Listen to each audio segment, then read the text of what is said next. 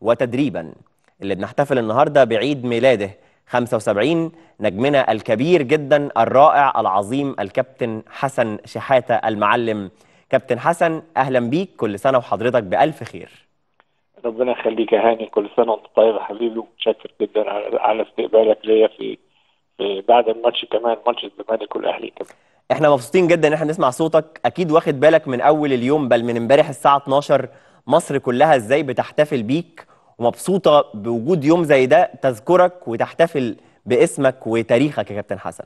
ربنا يخليك يا هاني. الحمد لله رب العالمين. ربنا يحبب فينا خير يا رب. ده. أنا- ده اللي أنا أقدر أقوله لك يعني.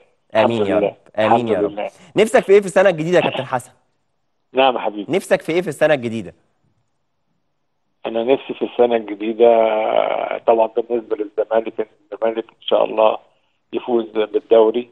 زي ما هو ماشي كده إن شاء الله وما يخسرش أي بطل زي النهارده كده بس النهارده خسر مم. لكن إن شاء الله إن هو ما يخسرش بطل تاني و... و... و...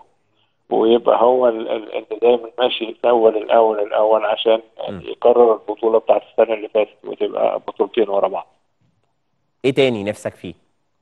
أنا نفسي في إن ربنا يا رب يدينا الصحة وطول العمر آمين يا إن شاء الله. آمين. رب. ويفرحنا دايما بوجودك وبسماع صوتك. الزمالك النهارده تعادل قدام الأهلي في البداية تقدم الأهلي نجح في إدراك التعادل شفت إزاي المباراه ككل كابتن حسن من خلال تعامل المدربين واللاعبين ال- ال- ال- ال- المباراة يعني أنا أقدر أقول لك إن هو الشوط الأول كان يعتبر الأهلي كان مسيطر شوية م. بغض النظر عن الجون اللي جابه مم. وطبعا الجون ده جه خطأ من عبد الغني.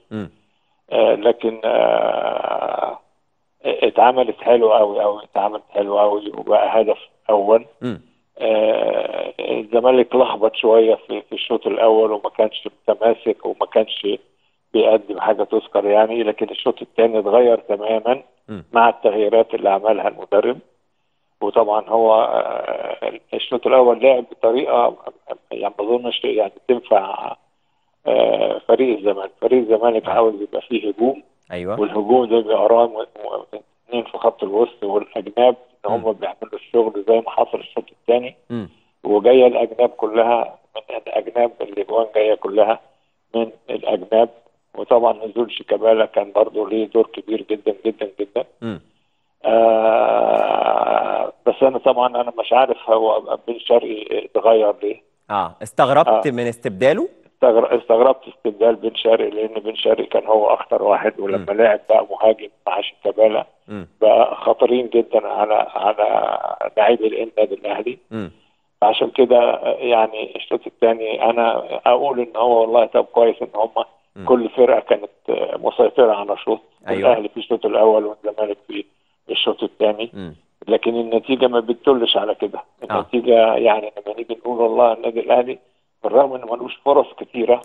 والجون جه من خطأ لكن الشوط الثاني الزمالك جات له فرص كثيره جدا مم. وعمل منها آه، الأهداف اللي خلته يسيطر على الشوط الثاني آه بشكل كبير جدا جدا جدا كان مين الأحق بالفوز في النهاية إذا انتهت المباراة بالتعادل لا أنا بقى أنا بقول إن هو أنا بقول ده بقى ده ده, ده التعادل ده بقى ده من عند ربنا يعني نعم. التعادل ده من عند ربنا عشان يدي كل واحد حقه هم كانوا الشوط الأول وإحنا الشوط أيوة. الثاني. فعشان كده ربنا بيدي كل واحد حقه مم.